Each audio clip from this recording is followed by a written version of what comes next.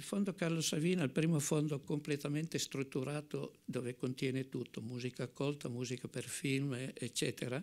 C'è tutta una documentazione, ci sono tutti i eh, brogliacci, partiture, iscrizione SIAI, dialoghi col regista, incavolature con il regista che voleva scrivere, voleva certe cose, lui lo faceva, ma di solito lui terminava, metteva una firma sull'ultima pagina e ci sono dei, molti riferimenti alle desiderata fatto perché lo vuoi tu, no?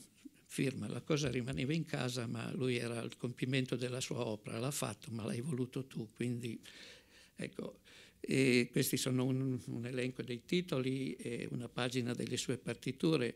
E lui scriveva, non avevo accennato prima, a penna e a penna colorate perché nel film molte cose già scritte prima, 5, 10, 15, 20 battute, il tema di lui o di lei o qualche altro riferimento veniva preso e rimesso in un'altra parte del film collegato ad altre musiche. Quindi il fatto che per le scritture era, per il, era, era perché il copista sapesse che quelle battute dovevano essere richiamate per un altro punto del film.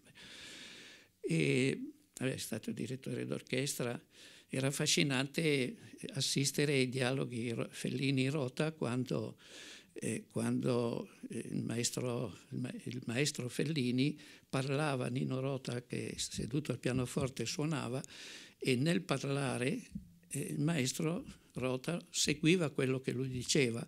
Ogni tanto Fellini si fermava dicendo ecco questo è quello che voglio. Il maestro Rota lo guardava con la sua faccina candida dicendo non mi ricordo cosa ho suonato.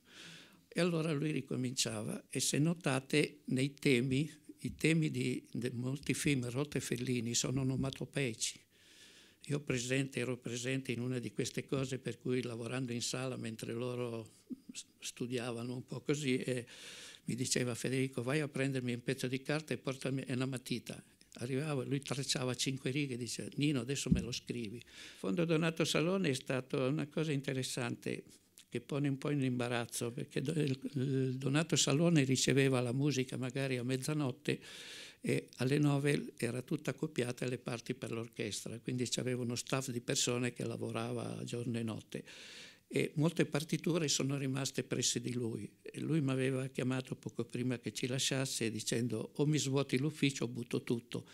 E poche, pochi giorni prima che questo succedesse eh, grazie alla biblioteca, andammo, prendemmo 38 scatoloni alla rinfusa di tutto e dove ci sono ancora le partiture originali di, di tutti questi maestri che voi leggete e ci sono o tutte le partiture e le parti di orchestra o le parti di orchestra solo o solo le partiture. Avere le parti di orchestra vuol dire che questi, queste musiche potrebbero essere prese e immediatamente eh, registrate cioè risuonate. Perché il problema è che oggi, non essendoci più, uno non pensa che qui si può trovare la, le partiture già pronte. Ma eh, oggi assisto a, degli, a, delle cose per cui si tira giù da un, da un, film, si tira giù dalla colonna sonora di un film la musica per essere rieseguita.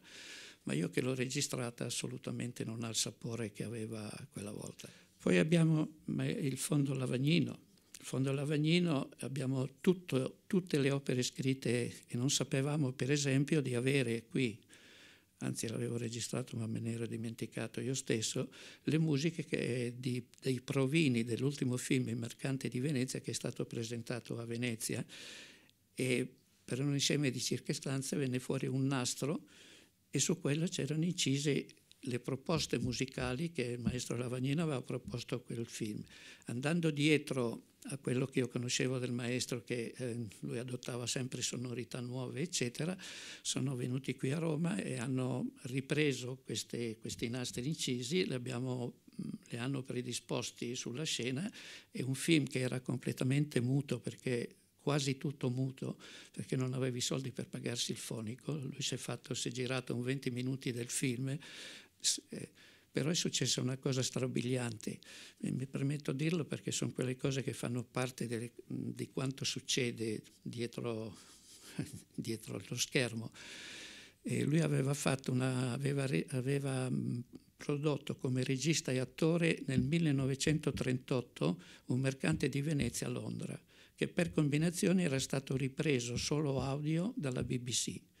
È stata presa la registrazione di questa registrazione del 1938 messa sul film dove lui parlava erano quasi al 95% esattamente in sincrono. Cioè un autore che a distanza 38-2016-2015 rifà una cosa ed è la, quasi la fotocopia. Ovviamente nel film mancano certe scene girate per cui è stato messo il, il suono continua, è stato messo il cartello missing, picture missing, eccetera. Però queste sono esperienze che sono molto belle e qui si possono fare anche qui ci sono i faldoni tutti preparati del maestro. Il maestro Lavagnino aveva un'abitudine di scrivere in codice, che è la cosa più difficile per capire tutti i riferimenti che lui ha.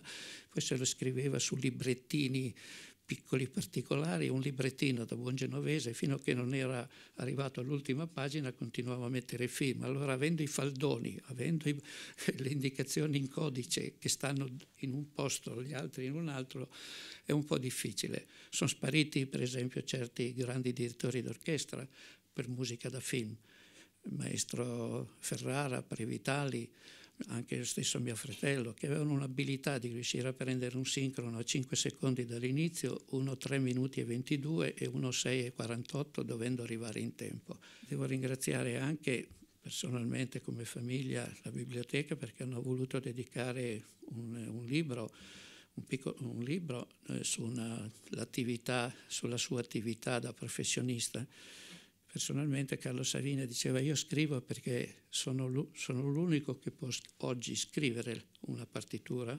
dirigerla, registrarla, inserirla in un contesto, andare a casa e risentirla. Io sono felice. Per molti altri musicisti invece è stato un tormento che si ritrova nelle lettere dove è uscito il film.